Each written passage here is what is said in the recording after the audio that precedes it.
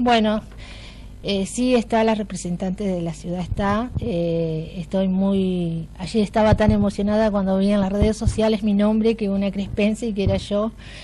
Eh, me había agarrado una emoción tan grande que dije, uy, ¿qué pasó?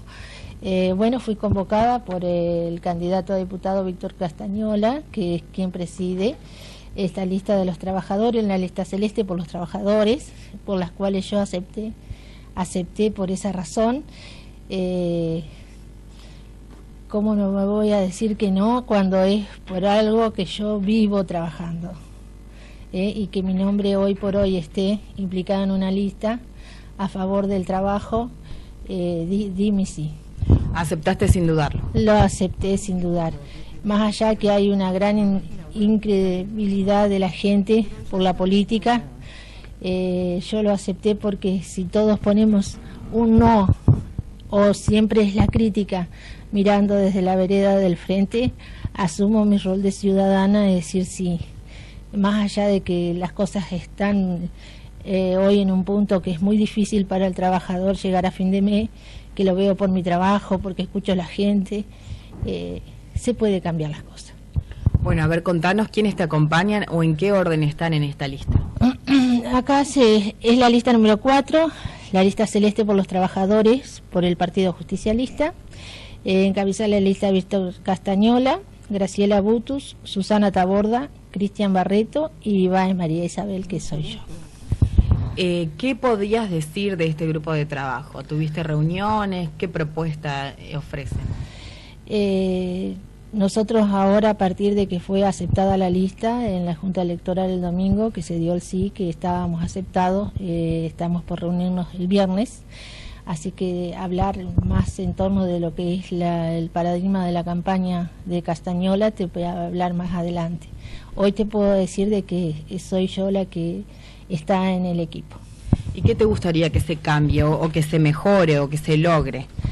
Hay muchos aspectos, eh, pero creo que prioridad por sobre todo hoy por hoy, en la situación que están muchas familias, es eh, abocar de lleno una ayuda a los inundados en la ciudad de Concordia y a sus alrededores.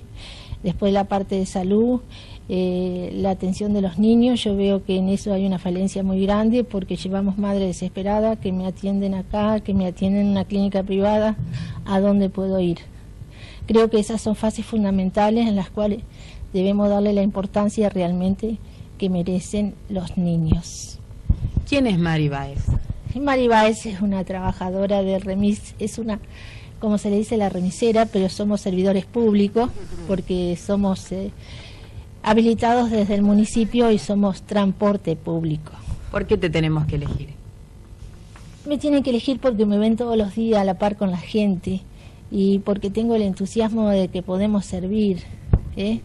Si nosotros como ciudadanos no tomemos el rol de servidores, no sirve de nada que nosotros existamos en una sociedad. ¿Qué le decís al crespense que te está mirando y escuchando?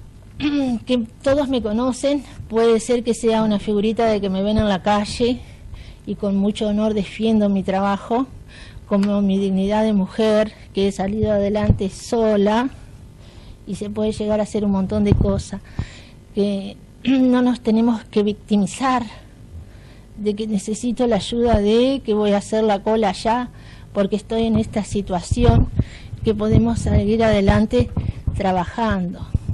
Eh, Mari, ¿vos estás afiliada a algún partido? ¿Estás independiente? Estoy en el justicialismo, no, no estoy independiente, porque esta lista es justicialista. Pero te pregunto, ¿cómo ves eh, la, ciudad, la provincia y el país? Es una opinión muy muy compleja la que puedo llegar a dar y no te lo puedo decir en una o dos palabras. Hoy por hoy creo que está en una situación muy difícil donde quienes tienen que solucionarlo van a tener que empezar a, tomar el timón o a, o a responsabilizarse o a decir hasta acá, de acá en más, tomemos una medida que es el bien para todos.